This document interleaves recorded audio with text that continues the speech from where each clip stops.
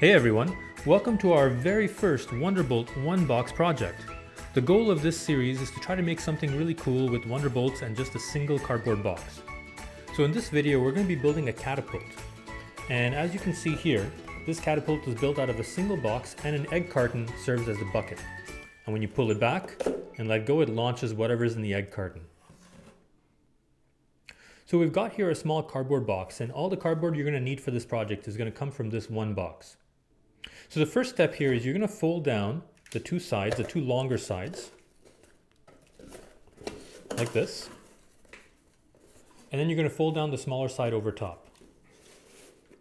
Then with a marker or a pencil, you're going to make a line over here, a little line over here, just to show where the small flap ends. There we go. Then with a ruler, you're going to draw a line between these two just like that. And then you're going to measure the distance from the edge of the box to that line. And here we're looking at about three and a quarter inches. So I'm going to make another notch or another line about three and a quarter inches down here. And we're going to join that line.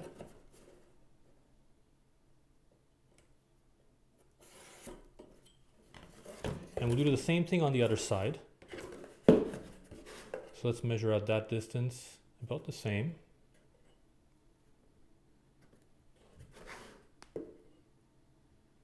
make a line here. Perfect. Next thing we're going to do is from the bottom of the box, we're going to measure up two inches.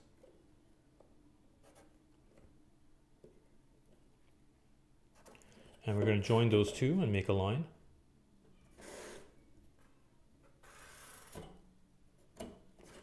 We'll do the same thing on the other side. So that's two inches from the bottom of the box.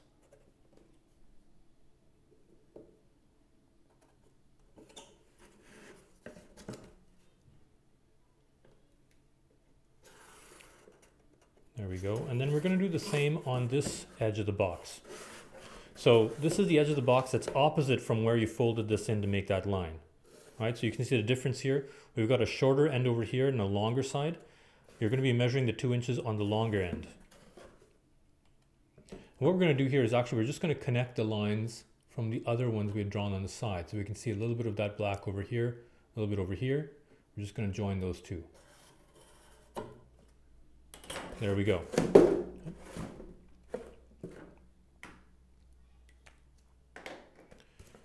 So now this is what your box should look like. So the next step now is to cut this. There's a number of ways you can do this. You can either use some scissors if your box is thin enough, that's no problem. Um, the other option you have is to use a box knife. Now, if you're going to be using a knife, just make sure to have an adult help you so you don't get hurt. Otherwise, scissors are just fine as well. All right, so I'll give you an example here. I've got some scissors. And what we're going to do is we're going to cut down this line we've drawn here. So scissors work perfectly well. If you're going to be using a box knife, that's also okay. But again, have an adult help you. And in this case, I'm just going to try to use the ruler to make sure the knife stays straight.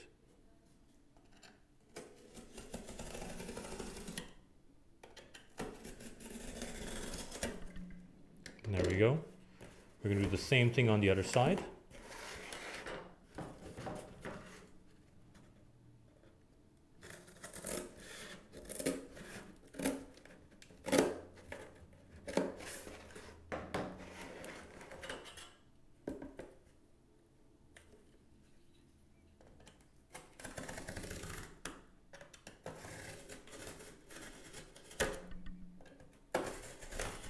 Now these cuts don't have to be perfect. There's plenty of room for variation here. So don't worry if you're not cutting perfectly straight or if your scissors are not cutting perfectly straight, that's totally fine. Just try to get as straight as possible. There we go. All right, so now we've got this piece left over. What we're gonna do here, you're gonna fold these two inner parts and fold the longer part on top of it okay, as though we're closing up the box. Next thing we're going to do is we're going to take a marker and mark a dot about here. It doesn't matter exactly what the measurements are, but just about that kind of proportion from the edge. All right, you don't want to go too far in here. You want to try to stay close to the edge, but give yourself about an inch, I'd say, from the edge of the box. Now the next step you want to do is you want to make a hole through the box and through this. So through this part here and through this over here. Now if you've got a WondrBolt kit at home, you can use the hole punch and the palm stop to do this. Just place the palm stop underneath, place the hole punch on top, and just punch through. Um, an alternative, if you don't have a hole punch, or if you don't have one of our kits, you could just use a pencil, for example, and just make a hole through with the pencil. That'll work as well. The only problem you want to make sure of, if you, if you put your hand underneath here and push the pencil through, you're going to get hurt. So have something else underneath just to hold it so the pencil doesn't go through and, and hurt your hand. All right, I'm going to hold it a bit on the side here so the pencil can't hurt my hand, and then you can just push that through right? So that's one option. But in this case, I'm going to use the hole punch because it provides the right diameter hole. So let's make it a little bit bigger. There we go. All right, so you can see now the hole went through both of these. Now we're going to close this up and use the WondrBolt to close the flap.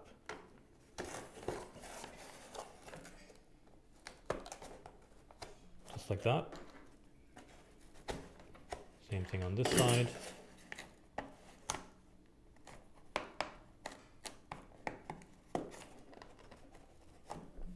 just like that.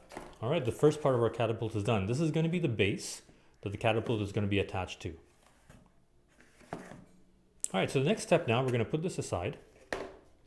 The next part is to build the arm of the catapult, which we'll be doing out of this piece. So first thing you're going to do is you're going to fold these over like that.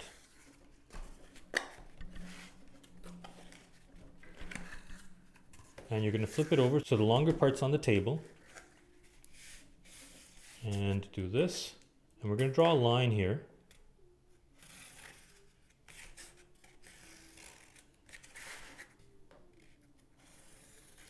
There we go. So this is what you're going to end up with. We've drawn a line just to show how far that extra piece of cardboard, when you fold it over, we have a little bit of extra cardboard here. We want to remove this extra cardboard. Okay, so in this case, I'm going to use a knife. You can use scissors or another tool.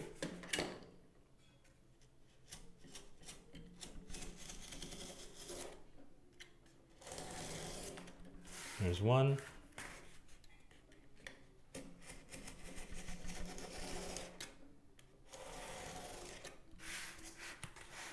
Another.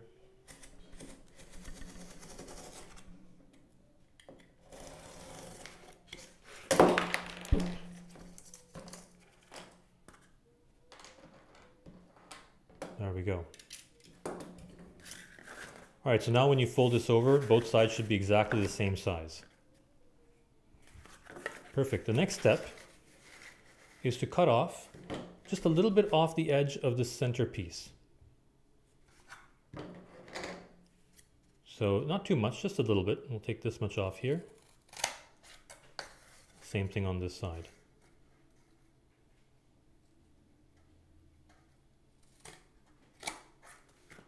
There we go.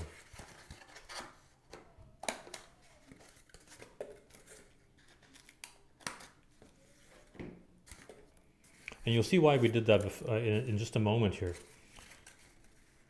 So I'm going to close this over and close this over. And this is going to be our catapult arm. This is how it's going to look when we actually attach it into the box. Okay, so the next step is to put in the pivot joints. So we're going to measure those out. So from the edge over here, we're going to measure out about one inch from this edge and one inch from the bottom as well. And just put an X there where the two one inches intersect. Same thing on this side. One inch there.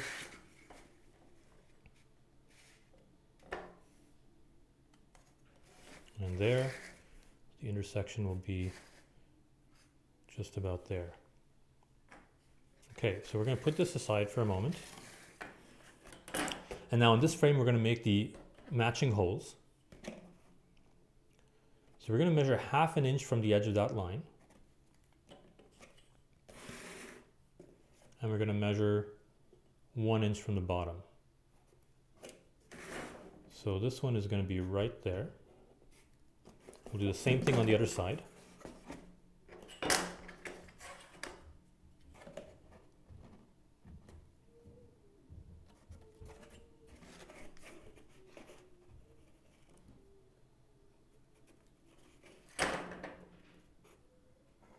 There we go.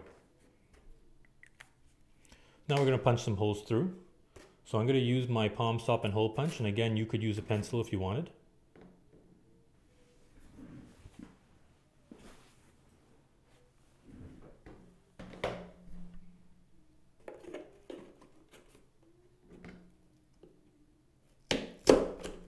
There's one.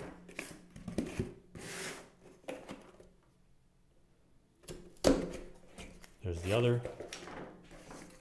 And we'll do the same here, but before we punch that hole through, we'll fold this over and then punch both sides at the same time. There we go. Same thing on this side. Excellent. All right, so now we've got our pivot points.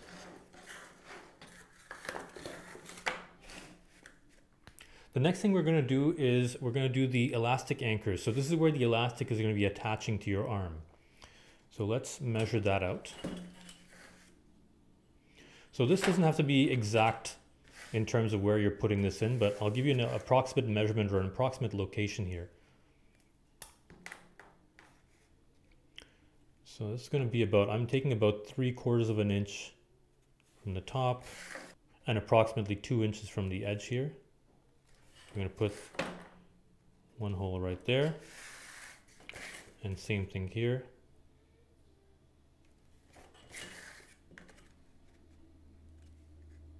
Came out perfect. All right. And same thing here again. We're going to fold this over and use our hole punch.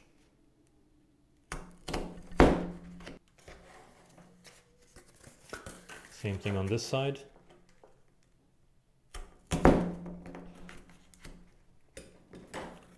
There we go. Next thing we're going to do is put in the anchor for where the egg carton holder is going to go in, that egg carton bucket. So that's going to go right in the center over here. So let's measure out the approximate center of this piece. So let's say we're looking at about six inches. So this is going to be about three inches. Right there. So we're going to fold this over, use the hole punch, and put that central hole in there. Perfect. Now the next stage of what we're going to do is we're going to trim off these corners because as the arm of the catapult is turning, these corners will get stuck in the box. So we're going to take these corners right off. Again, you don't have to be perfectly accurate here, just approximate. We're going to fold this over and just cut off the corners right around here, for example. There we go. Same thing on this side.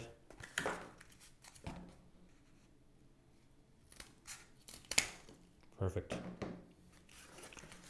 All right, so this is what this piece will look like. There's one last step that we've got to take care of. I'm going to flip this piece over here. And we've got to score an indentation here because we need this to fold closer to the edge of this. If you remember, we cut off a little bit of that central part here. So we need to extend the fold further down. So instead of folding out, for example, instead of folding out here, we wanted to fold closer to the edge of this cardboard piece. And that'll allow it to fit in the box a lot easier. So what we're going to use is the scoring tool. Now, if you don't have something like this, using a ruler, for example, might work as well. You can go over here and just press down into the cardboard to allow it to fold. Or you can use our scoring tool and do that as well. One there,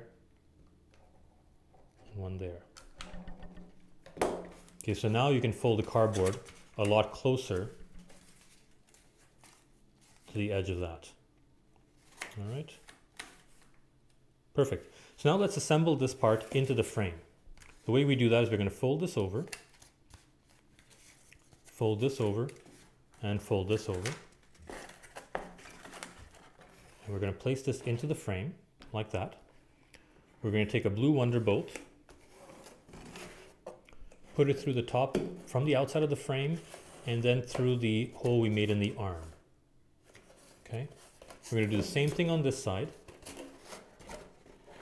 Take a blue WondrBolt, push it through the outside of the frame, and then into the holes we made, those pivot holes we made into the arm.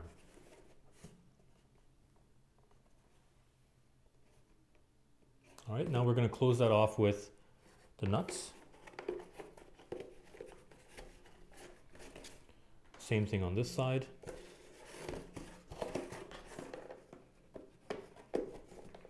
Now you don't want to close these nuts off too tight, otherwise it'll make the arm not move very well. So you want to close it off, but you want to leave a little bit of slack so there's, there's some movement here. Okay? There we go. Next thing we want to do is we're going to put a WondrBolt now from the outside through this elastic anchor hole we made. We're going to close that off tightly. So this one you want to make sure is nice and tight. Same thing on the other side. Sure this one here is nice and tight. All right, now the next step is to actually attach the elastic. All right, so we're going to take this elastic here, and these are also provided in your WondrBolt kits. If you don't have an elastic like this, a bungee cord might do, or you can tie several elastics together and see if you can get that to work. Okay, let's cut this elastic open.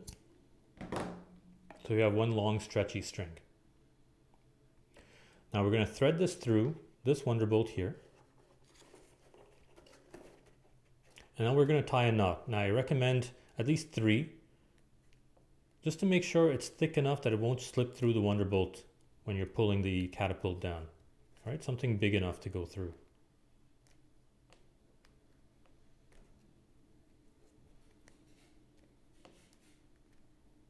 So you've got this big knot over here that won't go through the WondrBolt when it's pulled. Next thing you're going to do is try to get the elastic to go up through the bottom of this WondrBolt over here and come out the top. All right, so we're going to do that.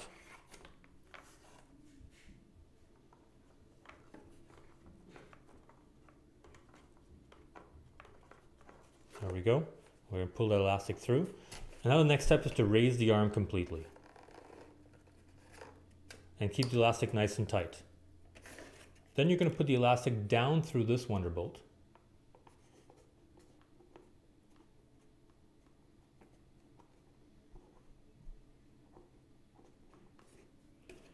and pull it through.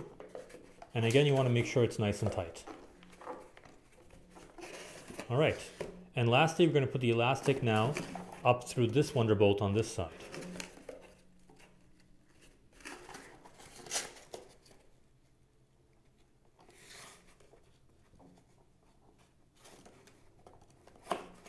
There we go. So you can see it's basically going from the outside through this WondrBolt up through the bottom of this one, down through the top of this one, and then up through the bottom of this one to the other side. You're going to keep the arm closed and you're going to pull this tight and try to, just like if you're tying up shoelaces, just try to get the elastic as tight as possible. There we go. Now we're going to tie a knot on this side. This one's a little bit tricky because the elastic is going to be tight. You want to make sure you don't loosen the elastic as you're tying the knot. So if you need some help, just ask an adult to help you.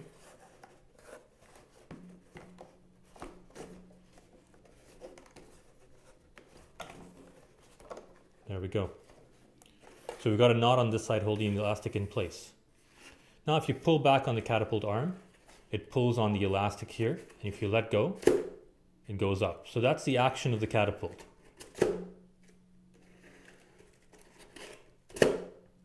Okay, so the last step is to attach the bucket. So I've got an egg carton here that we can use. I'm going to take this piece of it, and you can just use scissors to cut this open.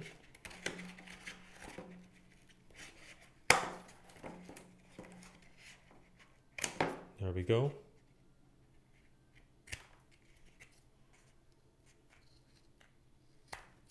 All right, so this will be a perfect bucket. The next step we want to do is this bucket is going to attach over here. So we want to make a hole on this side. So the bucket, we can put a WondrBolt through it here. I'm just going to use a pencil here to mark where I want the hole to be. And also you could use a pencil or the hole punch just to make a little perforation right there, just to get it started. And then push your pencil through. I'm going to use a hole punch here just to widen that hole a bit. And now we're going to put a WondrBolt through the inside of the bucket like that. And then through this hole that we'd prepared, just like this. And then we close it with a nut. Right there. And there you have it, our one box catapult. Let's test this out to see if it works here. I'll put a nut in there. There it goes. I hope you all enjoyed this one box WondrBolt project. If you did, please hit like on the video and be sure to subscribe if you want to see more really cool things you can make out of WondrBolts. We'd also love to see what you're all coming up with as well. So if you've got some really cool one box project ideas or really any projects you've come up with with WondrBolts, be sure to post pictures on Facebook or Instagram and tag us on that so we can check them out. And remember to hit the bell icon to be notified when we post new videos. Thanks everyone. Now it's your turn to get up and go build something. Till next time.